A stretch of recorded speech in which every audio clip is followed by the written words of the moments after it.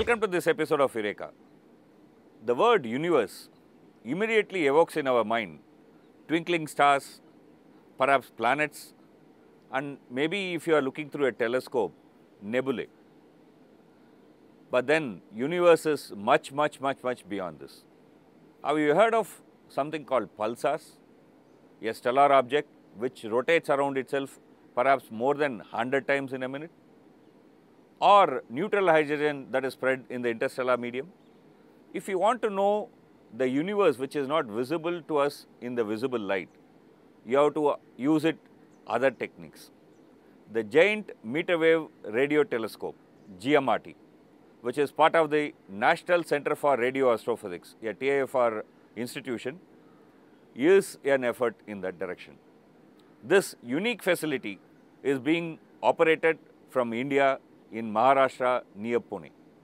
The dean of this facility, GMRT NCRA, Professor Yashwant Gupta, is our guest today. And thank you, sir. Thank you, sir, being with us. Before we continue this discussion, we'll take a quick look at his profile.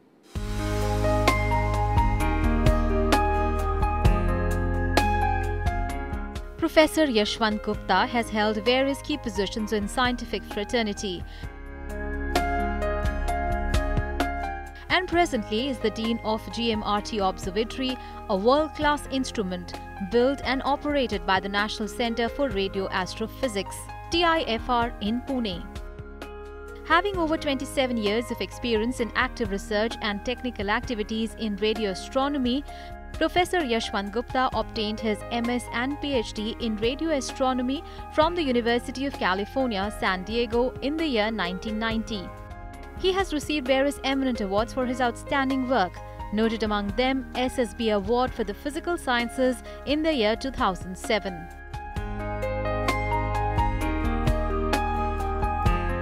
Thank you, for being with us. Uh, let's start with this fundamental question. The moment one talks about telescope, one looks at a mirror, you know, I mean, or a lens. But then here we are talking about a radio telescope. What is it? How does it work? So, as we know uh, that optical radiation is just part of a very large electromagnetic spectrum and that we get waves at frequencies which are very different from optical. And so, radio waves are waves of one of those kinds of waves.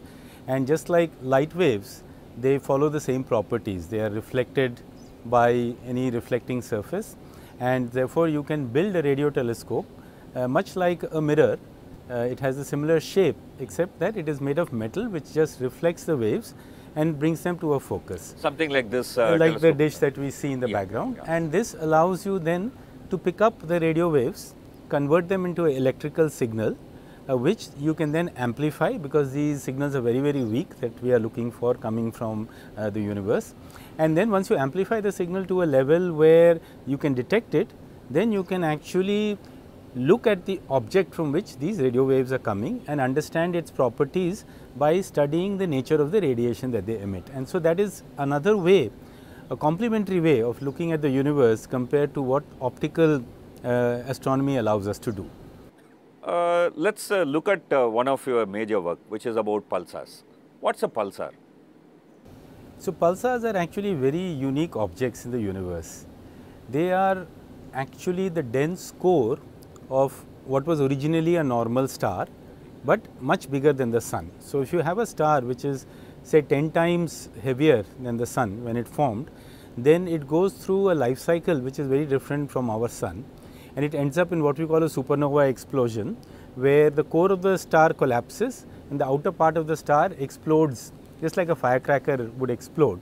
And this condensed core of the star forms a neutron star. So, it is made up primarily only of neutrons. So, if you imagine you take the atom Ah. and you break it, remove the electrons, go to the nucleus and just pack nuclei together and make material out of it. Okay. That and is what a uh, neutron star the is. protons, only keep the neutrons. Yes, finally the protons electrons combine under the pressure and they form neutrons. Okay. It is a sea of neutrons and the density of that material is the density of the nuclear matter. Okay. It is 10 to the 15 grams per cc and you may ask what does that mean? What it means is that one teaspoonful of that material will weigh 100 tons. I take just one teaspoonful and it will be 100 tons.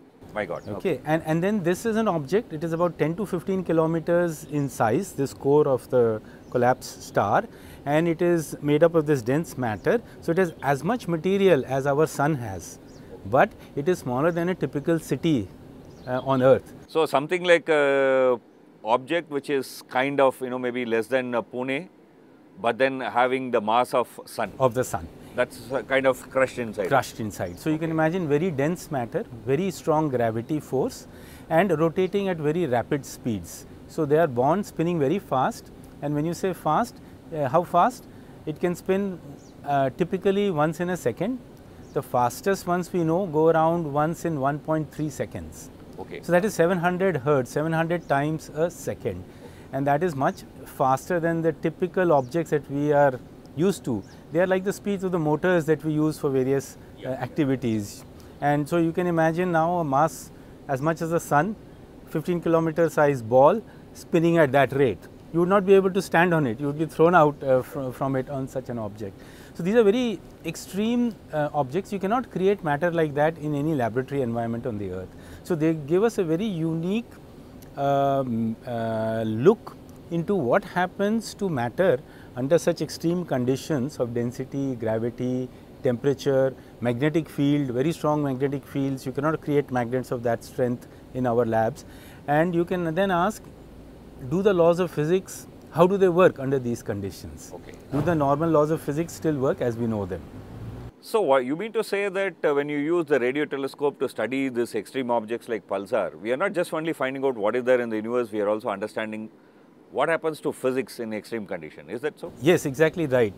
In fact, this uh, took some time for astronomers to realize that when you find such exotic objects in the universe, then you can probe the laws of physics in a regime which is not possible to do in a terrestrial environment in our labs. Okay. And pulsars is a very good example of that because what people found is that the force of gravity near a pulsar is much much stronger than what you can find around the sun simply because you can come much closer Yeah. to the source than you can uh, come to the sun. And under these situations, uh, you know, as you know, there was Newton's laws were the original, Uh-huh. and then Einstein came and modified them. And then people have asked, was Einstein 100% correct? Okay. Uh, are his laws valid in all conditions? And that is one of the biggest uh, challenges for theoretic, uh, for physics and to understand whether the uh, relativity theory of Einstein uh, are there limits under which it breaks down? And there are people who have ideas about alternative theories and there has been a long standing debate about how can we test these? Is there a way to know? And these are objects and environments which allow you the opportunity to test some of these laws of physics simply because you can detect signals from such objects and they come in pulses so, uh, a, a pulsar works like a lighthouse. It has a fixed beam coming from the pole of the star and as the uh, star rotates, you see flash From one pole to the other pole. pole just like you see in a uh, in a lighthouse. And by timing these flashes, you can und uh, understand the rate at which the star is rotating and any changes in that rate of rotation you can very accurately measure down to uh, 1 part in 10 to the 12 which are you know astonishing accuracy. Once you have that kind of accuracy, then you can understand that if there is small perturbation in the neutron star's movement or orbit in a binary star, then uh, it, whether it is due to uh, which law of physics, what may be the cause, you can study these in great detail and in fact, one of the Nobel prizes in physics was given to people who studied one very particular interesting pulsar. For 20 years they studied the signal continuously and they could show that the rate at which the signal is changing is exactly matching with Einstein's theory. Very interesting. This is a very important point. Science does not work by faith. It's not just because Einstein said the laws are accepted by scientists. You keep on testing. You examine and find out whether it is correct. You look for evidence. We'll take a very short break and then we'll come back to this uh, program with more interesting questions and rich, interesting facts.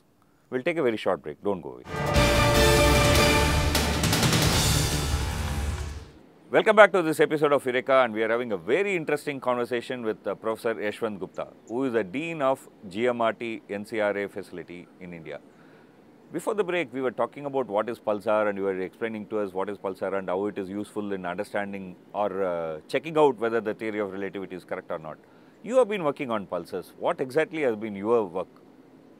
Right. So, as I was saying that pulsars are very interesting objects and we spend a lot of time trying to find more pulsars in our galaxy because you can then find more rich and interesting objects where you can uh, do various kinds of science. So, we at GMRT had conducted search looking for pulsars and then sometimes what you do is that you look in specific directions where you think more likely chance of finding a pulsar. Sometimes you look generally all over the sky to see wherever there are pulsars you may find them. So, we had found a couple of very interesting pulsars uh, in the early days of the GMRT. Uh, one was in a globular cluster. A globular cluster is a large condensation of stars uh, very rich in stars and old stars and old stars is where you likely to find uh, pulsars. And we found one pulsar which was in a binary orbit. So, binary orbit means there are two stars one was the pulsar, there was another companion star going around in an orbit.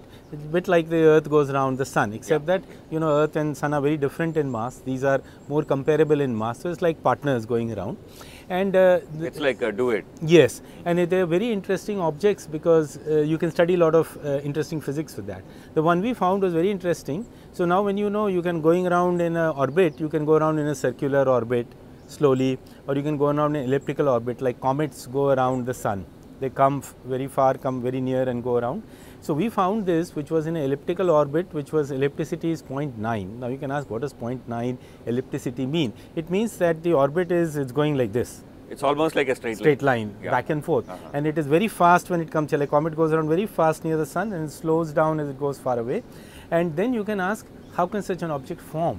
What produces two stars going around doing this kind of a behavior and the theory is that uh, in this dense environment where there are many many stars very close to each other there are exchanges happening between partners. Okay. So you can pick up a partner, you can lose a partner when you come very close to another star because of gravitational forces.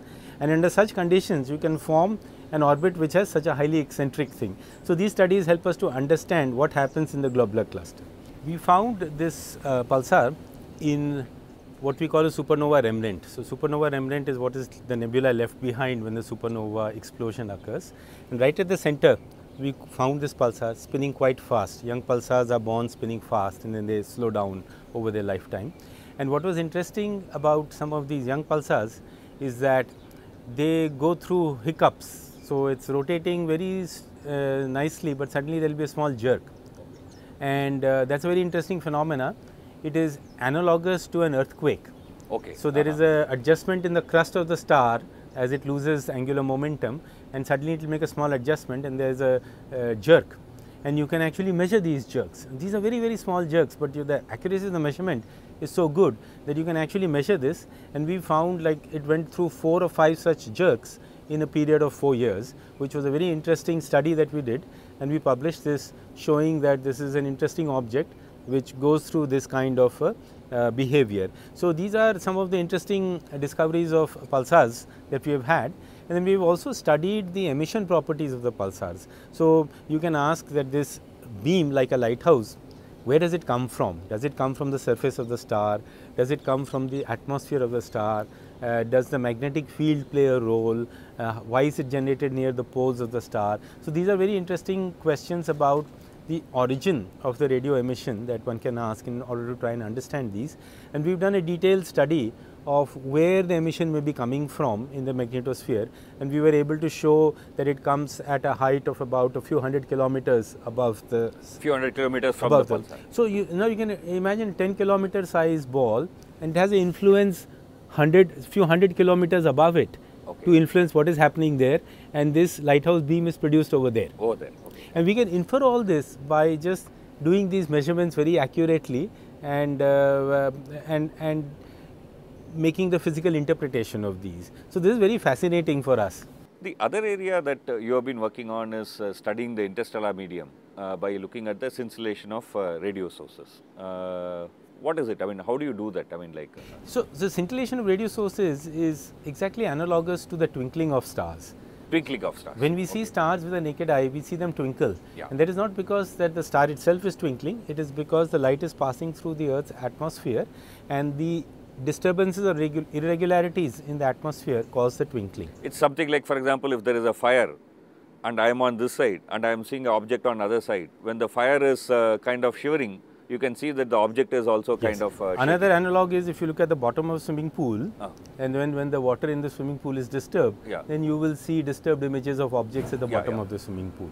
So this uh, twinkling behavior of pulsars we studied, where the twinkling is happening due to the passage of the signal through the interstellar medium in our galaxy, Okay. which is a very thin tenuous plasma, uh, which then causes the pulsar signal to fluctuate. It's basically thin and uh, less dense, but but, uh, but because it's uh, very thick, you know, compared to from Earth to pulsar, that's because of it you are able so, to see the so that's exactly a very interesting question that uh, what is the distribution of this material Okay. between us and different pulsars? Uh-huh. Uh, is it continuously present throughout the line of sight or is it concentrated in certain clumps at Uh-huh. certain locations?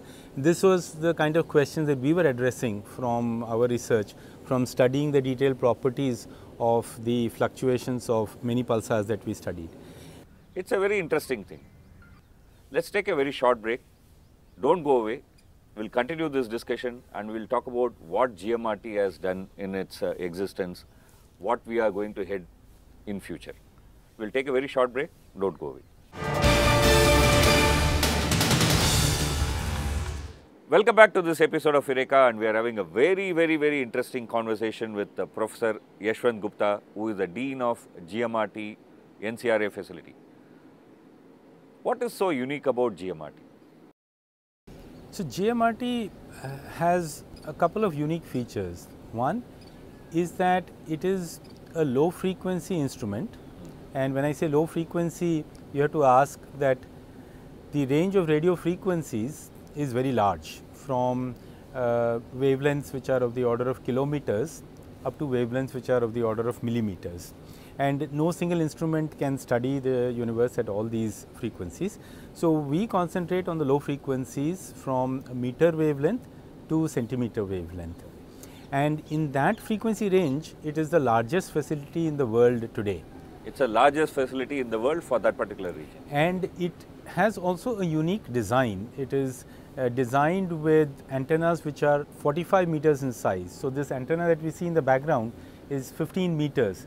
So, it is three times bigger Three than times this bigger, and there are 30 such antennas which are spread out over a distance of almost 30 kilometers Okay. Uh, and uh, then the signals from all of them are brought to a central location via optical fiber and our facility was one of the first to use optical fiber in radio astronomy to collect signals and bring them back.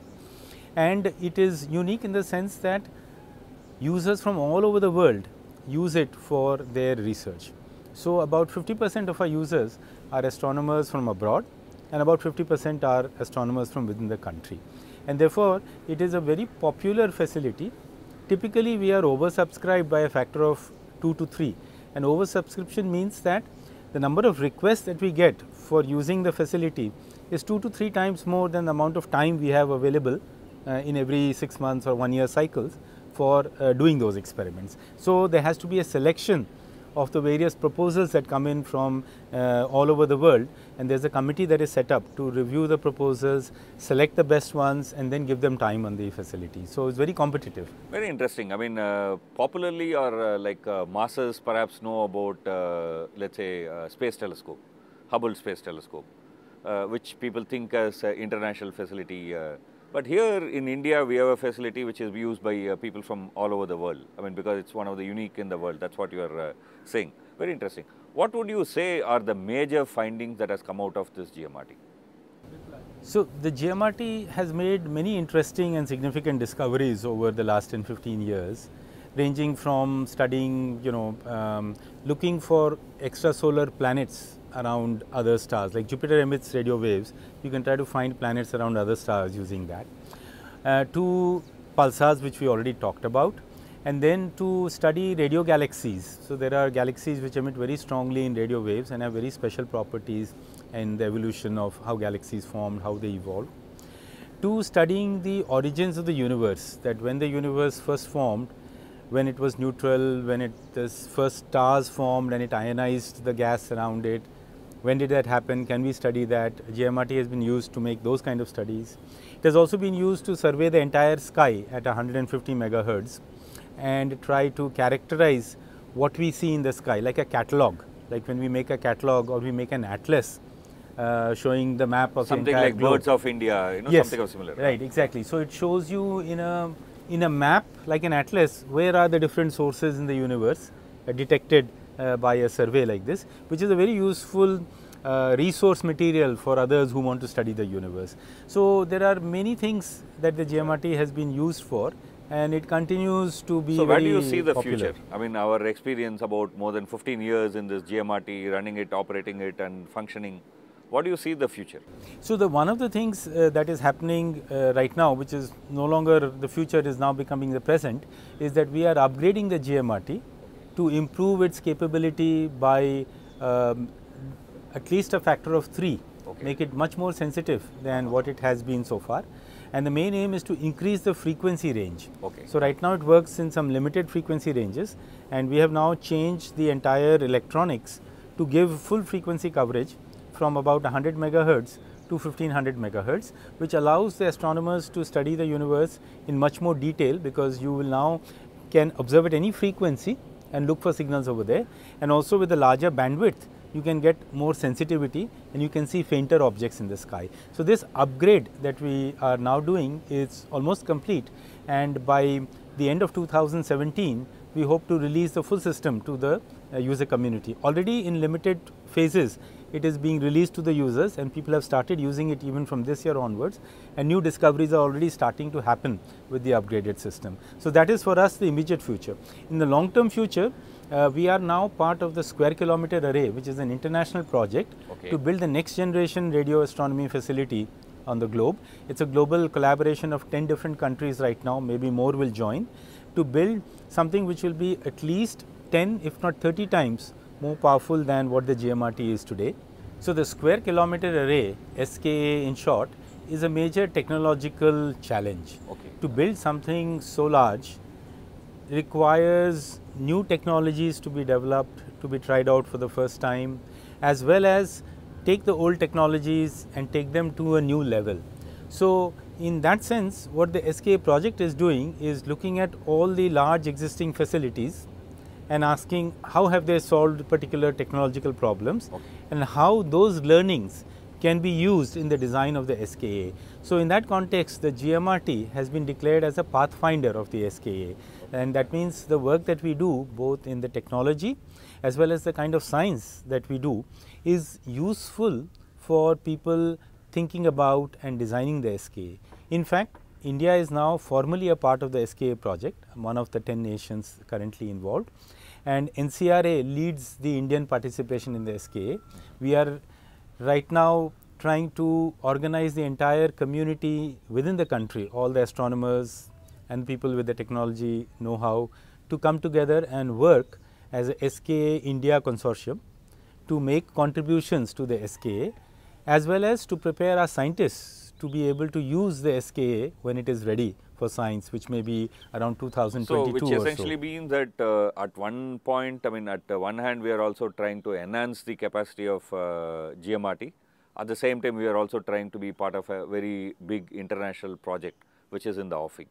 So, we are taking both steps to ensure that uh, we would be at the forefront in yes, this research. exactly. We want to keep the leadership that the GMRT has established over the years by doing the upgrade and giving people an improved facility use for at least the next decade.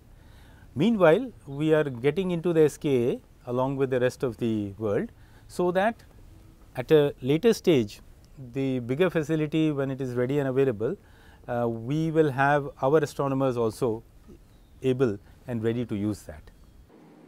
Astronomy has been uh, fascinating. You know, any young person should be uh, would be fascinated with astronomy. But then people would like to take a telescope, look at the sky. But here you are doing astronomy where perhaps you are sitting before a computer screen where some numbers, you know, uh, glitter. Not so enchanting. How did you come to this particular field? What brought you here? So, actually I also started by looking at the sky through a telescope Okay. and uh, I owe that to my father who introduced me to astronomy Uh-huh.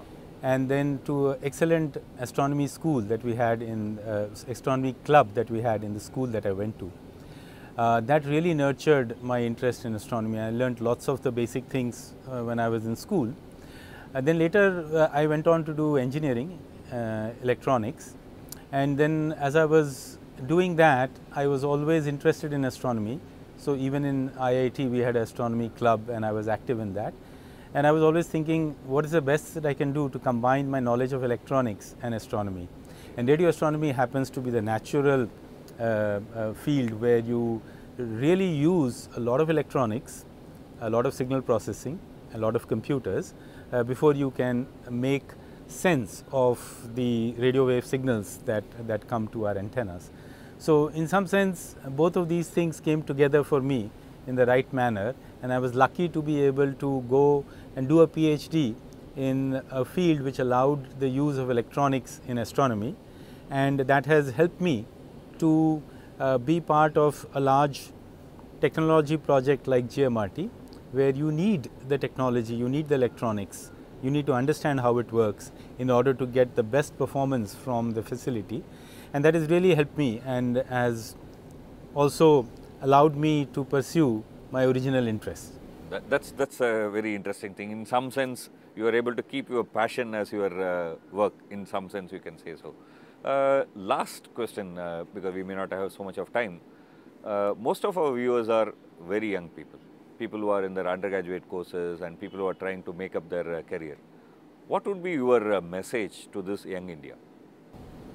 My message would be to not close your mind to what you read and study, to have an open mind, investigate, look at other options. Today, there are large number of opportunities in India for doing science and we need to be able to move from being known as uh, the IT masters to the science masters in the world and we you know it's time for us to make that transition and it is really the next generation who has to be able to step up and uh, and take the challenge and move India to the forefront in, in, in science in, in the world. And I think we can do it. Uh, we just need our youth to think a little bit differently and uh, think you know let, let, let, let their imagination and their passion take over rather than be confined with the standard things that we, uh, that we do when you know when we learn and Follow your passion, look for new opportunities, open up new frontiers. This perhaps is a simple, sharp message from him to our young India. With this, unfortunately, we don't have much time, so we will uh, have to end the conversation here. Keep watching Eureka. Next week, we will have another conversation with another scientist. Keep watching Eureka.